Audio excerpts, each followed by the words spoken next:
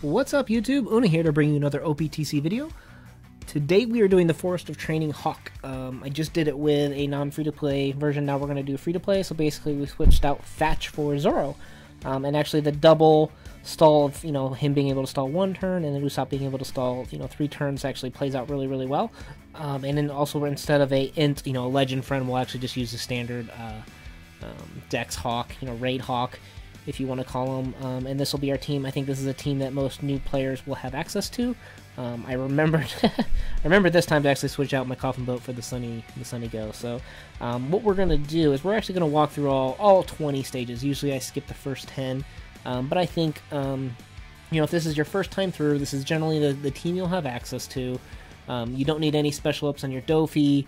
Um, I would recommend if your if your friend's not you know max you max your Mihawk. I want one max uh, you know Mihawk for for to be able to use twice, um, and then everything else you know obviously if you have a max Usopp that will only help.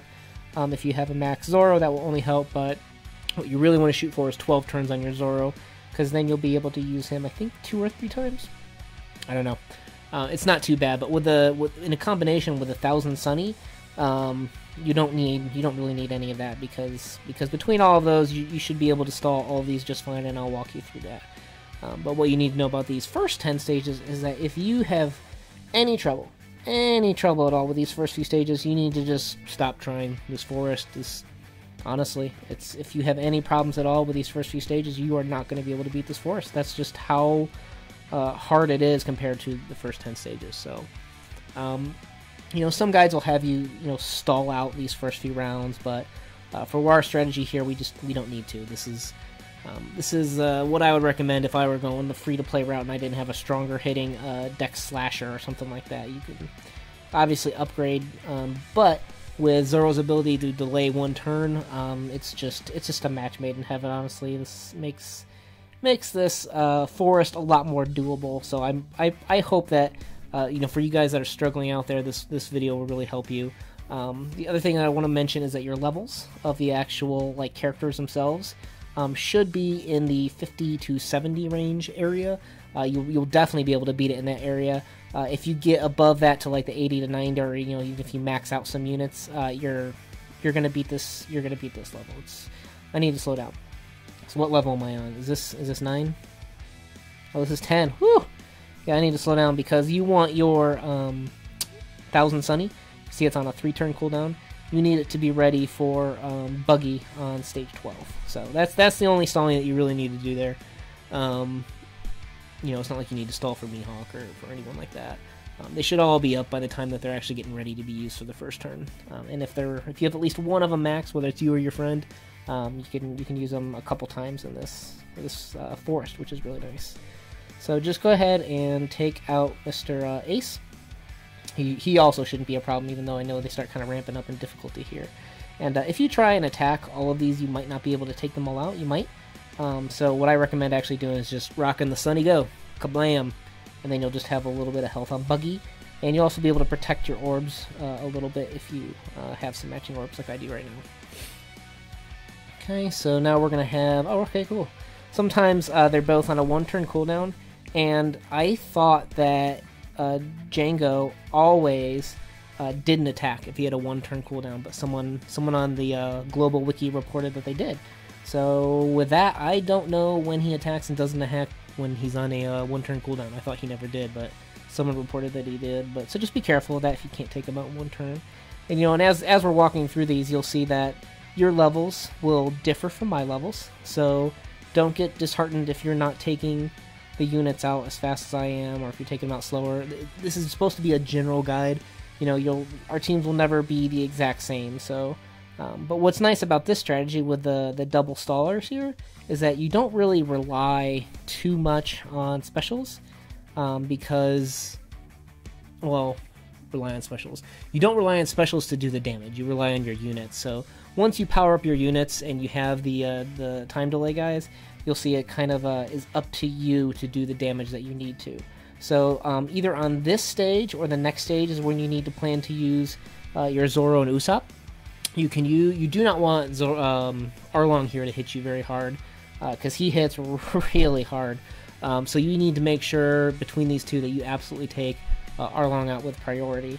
Uh, if you have a, a matching um, quick unit, like I do right here with Zoro, you can you can actually just get away with the one turn.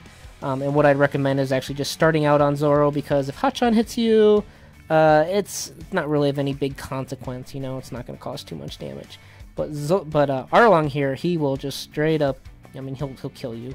So um, yeah, that's that's the only thing to really know about this stage and the next stage. Woo. So just take out Hachan and move on. So now we have uh, the um, what do you call these guys? The Baroque Works. So you'll want to use your other staller here, and uh, I think it's you know if you can, I'd prefer to use your your your Usopp here for your stall. But the first thing uh, you know Miss Jerkface, Miss Goldenface does is she'll switch all your orbs to uh, non-matching. Not very nice, is it? And uh, what you'll want to do is basically you'll you'll want to take out um, him, Mr. Three, with a priority. So just make sure, under no circumstances, do you allow him to attack, because he'll attack your entire left uh, squad for basically, I think it's six or seven turns. It's it's no fun. So um, you you just can't let him attack. Everything else is kind of kind of negotiable, you know. Um, but that's the only one that's uh, absolutely cannot happen. And I don't have any strong units against him, but um, with with with the Usopp stall here, it shouldn't be an issue.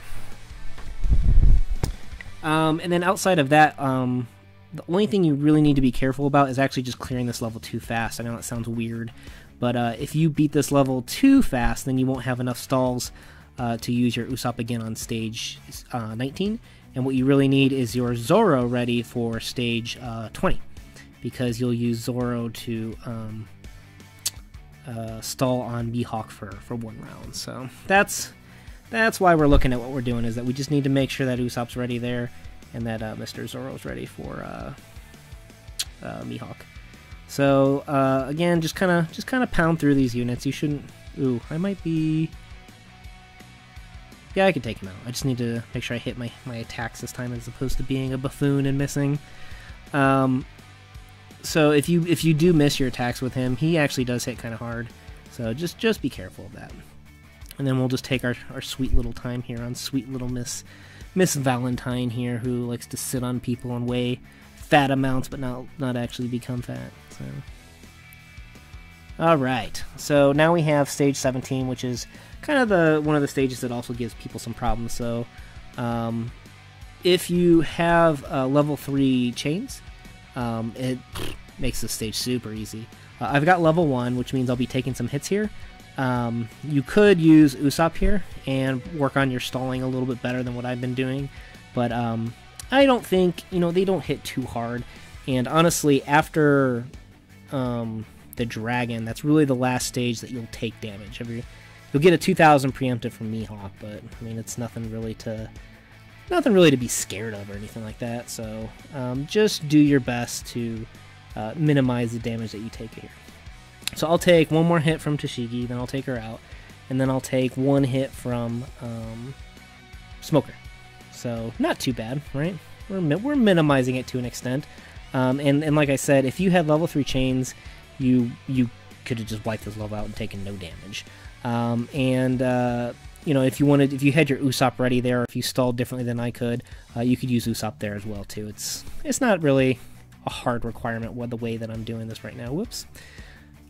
You just need to make sure that you do take Smoker out uh, before he attack, attacks again. Oh man, I'm really, I was really hoping for at least a few meat orbs here. I'm not getting very lucky at all. And uh, yep, but that's that's about it for this guy. At least give me one meat, not a single meat. Ugh, come on, come on, Treasure Cruise. What do I do to you to deserve this? Okay, and now we come to the um, the crabs. And if you followed our stall strategy, you know, to not to a T, but like I said, every unit's different. You can actually use the uh, cannon here to, to take out all the crabs, and then you're left with with just the uh, just the dragon. And uh, you know, depending on your levels, like I said, uh, you should be, and, and, particularly the orbs. I got really lucky here with the orb. You should be able to take him out in these these three turns. Um, you know, he's he's nothing too dangerous. Um, I would not recommend using a stalling unit here. Make sure I don't kill him here. I would not recommend using a stalling unit here because you want to use Usopp, like I said, on stage 19, and you want to make sure that you have, um, whoops, oh crap, and you want to make sure that you have uh, Zoro ready for stage 20.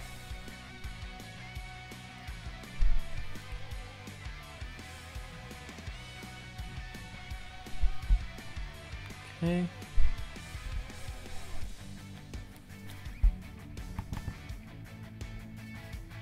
So for this stage, uh, first off, activate your, your Usopp right away um, to give yourself the maximum stall time. Um, I'd recommend activating one Mihawk. Um, you could use both Mihawks here, but sometimes I like to uh, wait to see if I want to use a Mihawk on uh, uh, a second Mihawk on the, the, the boss Mihawk.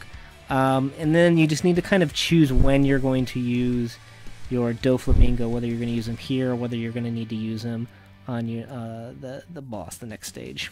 Um, honestly, this is the hardest part of this forest. If you can beat um, basically one straw hat per round, so you should be able to take Soge- Sogeking out right away. He's pretty weak. You should be able to take out Nami, and then you should be able to take out uh, Sanji on one turn. You should be absolutely fine and not have any problems with this. Um, it's just a matter of your levels.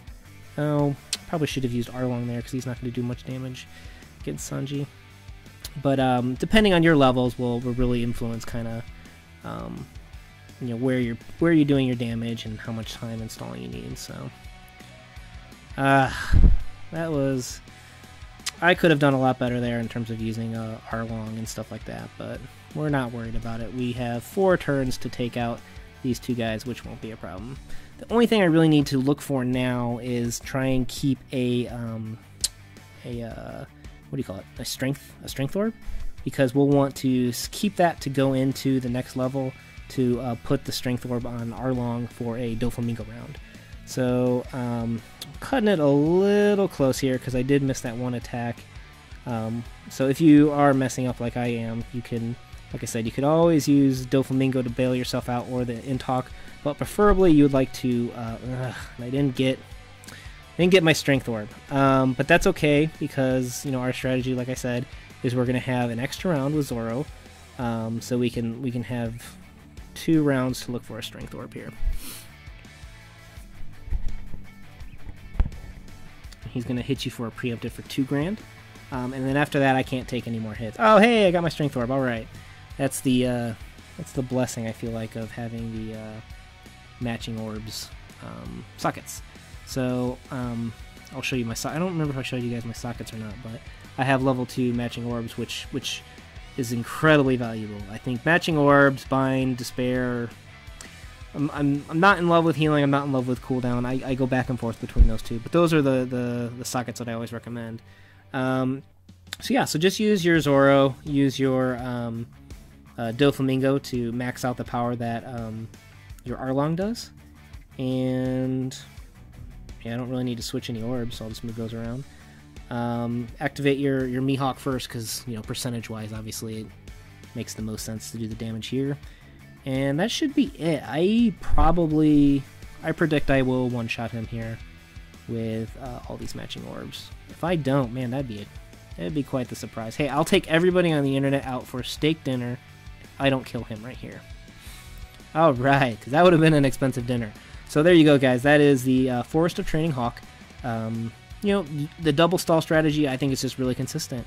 Uh, it's it's really really helpful and definitely even more helpful when you have that Sunny Go to take out uh, Buggy and the, the crabs. So uh, good luck. You, I mean, I have all the faith in the world that you guys are going to be able to get uh, the coffin boat.